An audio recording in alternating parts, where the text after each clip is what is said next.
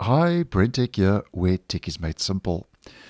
So last year, back in May, I posted that Microsoft had released a new DevHome app for Windows 11 that includes new widgets that you can use to monitor your system resources like CPU, GPU, RAM, and network utilization. Now, I'll leave that video down below.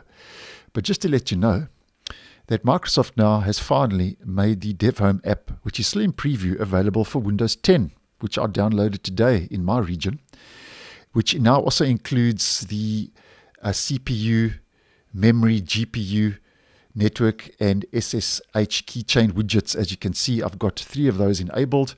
And the nice thing about this is basically, um, if you are looking for hardware and network monitored widgets on Windows 10, then this is a little control center, for want of a better word, um, for Windows that lets you obviously obviously monitor different things like your CPU, memory, GPU.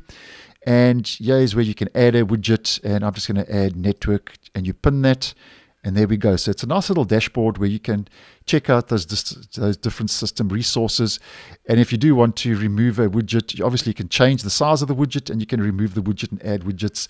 And on Windows 11, as I mentioned in that video, um, these widgets can be actually pinned to your widget board.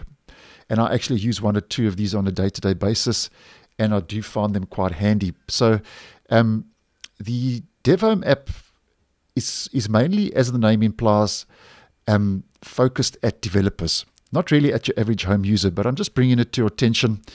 Um, because obviously, as you can see, if you are looking for a couple of widgets and hardware network monitoring widgets, then obviously I think this is a nice move.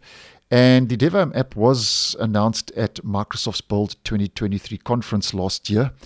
And currently, it is available from the Microsoft Store, and you can download it for Windows 10 um, through GitHub. And I'll leave the link for GitHub down below if you'd like to check it out. But um, obviously, if you download the app, you can fiddle around. It's got a lot of little things you can try out. As mentioned, not really aimed at your home user, but I do think um, uh, even if you are you know, an average Joe on your PC, these little network monitoring widgets, I think could be a nice move and could be of benefit.